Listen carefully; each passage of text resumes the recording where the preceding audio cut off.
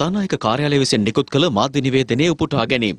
ඊයේ දින රාත්‍රියේදී ගරු පාර්ලිමේන්තු මන්ත්‍රී පාටලී චම්පික රණවක මහතා අත්අඩංගුවට ගැනීමේදී සිදුව ඇති ක්‍රියාවලිය පාර්ලිමේන්තු මන්ත්‍රීවරයෙකු අත්අඩංගුවට ගැනීම පිළිබඳව මෙතෙක් පැවති සම්ප්‍රදාය උල්ලංඝනය කිරීමක් බව පැහැදිලිව පෙනී යයි.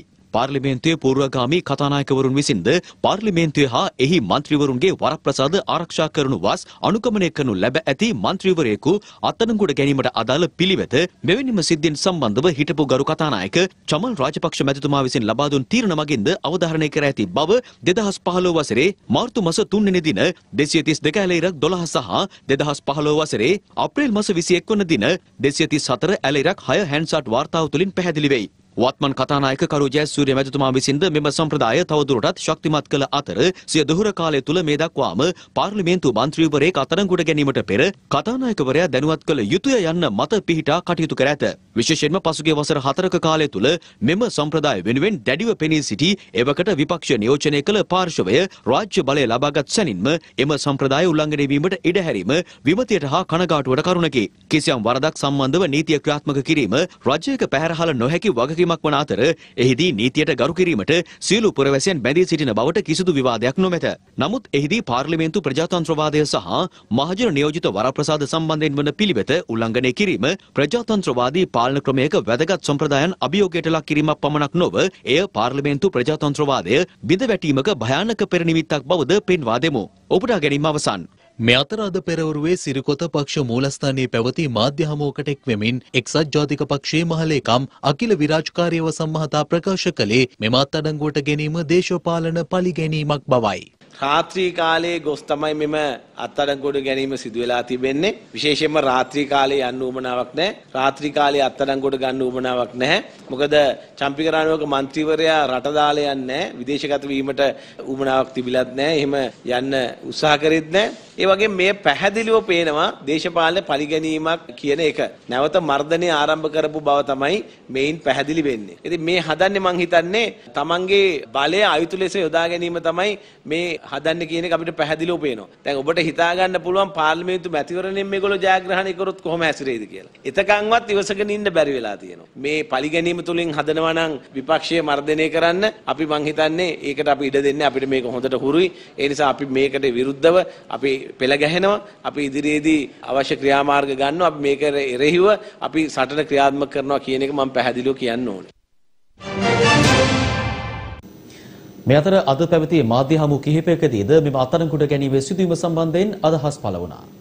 අපිට පේනවා පාණ්ඩේ චම්පික රණවක මැතිතුමා හදීසි ඉලක්කය කරගෙන විපක්ෂයේ දඩයම් කරන්නට දේශපාලන වශයෙන් තමන්ගේ ප්‍රතිවාදීන් දඩයම් කරන්නට මේ රජය කටයුතු කරගෙන යනවා කියලා. පාර්ලිමේන්තු මන්ත්‍රීවරයෙක් අත්අඩංගුවට ගන්නවා නම් කතානායකවරයා දැනුවත් කිරීම අපේ පාර්ලිමේන්තුවේ අපේ එකඟ වී ඇති සම්ප්‍රදාය ගත යුතුව තිබෙනවා. ඒවා මොකක්වත් නැතුව එතුමා ඊයේ අපේ ඇස් ඉදිරියේම අත්අඩංගුවට ගත්තා. අද මේ රටේ විපක්ෂය මර්ධනය කිරීමේ පලිගැනීමේ ක්‍රියාවලියකට අද රජය අවතීර්ණ වෙලා තියෙනවා. අද නීතියට පටහැනිව ස්වාධීන අධිකරණයෙන් තීන්දුව වෙච්ච නඩුවක් අද නැවත වරක් විමර්ශනය කළා මෙතුමා අද අත්අඩංගුවට අරන් තියෙනවා. රජයේ ඒකාධිපතිත්වය මර්ධනය අද නැවත පැමිණින් පවතිනවා. අපි කියනවා එක්සත් ජාතික පක්ෂය පම්පික රණවක මැතිතුමා වෙනුවෙන් අපි පක්ෂයක් විදිහට අපි සියලු කටයුතු කරනවා එතුමා වෙනුවෙන් පෙනී සිටින එක්සත් ජාතික පක්ෂය හැම විටම සූදානම් වෙලා තියෙනවා. අපි ප්‍රජාතන්ත්‍රවාදය දුන්නා. ඒක ස්මෘත්තාව වෙනකම්ම දුන්නා. ඒක ඇති වුණා කට්ටියට. ප්‍රජාතන්ත්‍රවාදය ඇති වෙලා දැන් ආයේ ඕන වුණා ඒකාධිපතියෙක්ගේ සපත්තු යටට වෙලා දුක් විඳ විඳින්න. දැන් ඒක ලැබුණානේ. දැන් සන්තෝසයි. සියලුම ජනතාවට කියනවා දැන් ඇස් ඇරලා බලන්න ආණ්ඩුවේ කඩා වැටීම පටන් ගත්තේ ඊයේ. දැන් හෙට අනිද්දා වෙනකොට බලන්න තව ඔය වගේ දේශපාලන පරිගැනීම් සිද්ධ වෙන මේ රටේ මිනිස්සුම නැගිටි. මේ අතර පාර්ලිමේන්තු මන්ත්‍රී පාටලි චම්පික රණක මහතා අත්අඩංගුවට ගැනීම සාධාරණ හේතුන් මත සිදු වූ බවට අද පැවති මාධ්‍ය හමු කිහිපයකදීද මෙලෙස අදහස් පළ වුණා. රියානතුරු ඕන තරම් සිද්ධ වෙනවා. රියානතුරක් වුණා කියලා ඔහු එල්ලන්නේ ඔහු මේක වංචාවක් කළා. දුකට කියන සීපද මේ කියන්නේ නීතිය වපුරපු ප්‍රමාණයට තමයි නෙලා ගන්න සිද්ධ වෙන්නේ කියන එක මතක තියාගන්න ඕන. යමෙක් වැරදි කරා නම් ඒ වැරදි කරපු පුද්ගලයාට කිසිදු දේශපාලන පක්ෂයක් ඒ වගේම ඔහුගේ තත්ත්වයන් නොසලකා නීතිය ක්‍රියාත්මක කළ යුතුයි.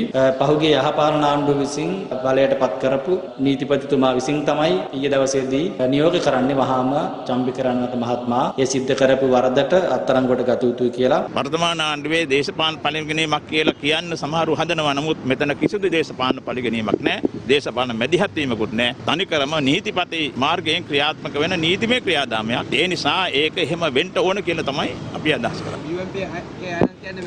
ඔවුන් තමයි දේශපාලන පරිගැනීම් කරේ ඇත්ත වශයෙන්. දැන් මොකද දේශපාලන පරිගැනීම් කරන්න පුළුවන් තරම් උත්සාහ ගත්තා. මේ රිය අනතුර විවිධ පාර්ශවයන් වෙත පටෝලා චම්පකරණවක අමාත්‍යතුමා ක්‍රියා කරපු ආකාරය ගැන මේ සිද්ධ වෙච්ච ආකාරය පිළිබඳ සාක්ෂි තියෙන. ලැබුණ පැමිණිල්ලකට අනුව නීතිපතිතුමා විසින් තමයි නියෝග කරලා තියෙන්නේ අපරාධ පරීක්ෂණ කොට්ටාසයට ඒ හිටපු ඇමතිවරයාව අත්අඩංගුවට ගන්න කියලා. ඒ අනුව අධිකරණය යුක්තිය පසඳලීමේ ක්‍රියාවලිය අදාළ ක්‍රියාවලිය කරයි. ඒ සඳහා කිසිදු දේශපාලන මැදිහත් වීමක් වෙන්නේ නැහැ. දිනපතා අලුත් වීඩියෝ සහ ප්‍රවෘත්ති නැරඹීමට ඉහත බටන් එක ක්ලික් කර සියත TV සබස්ක්‍රයිබ් කරන්න.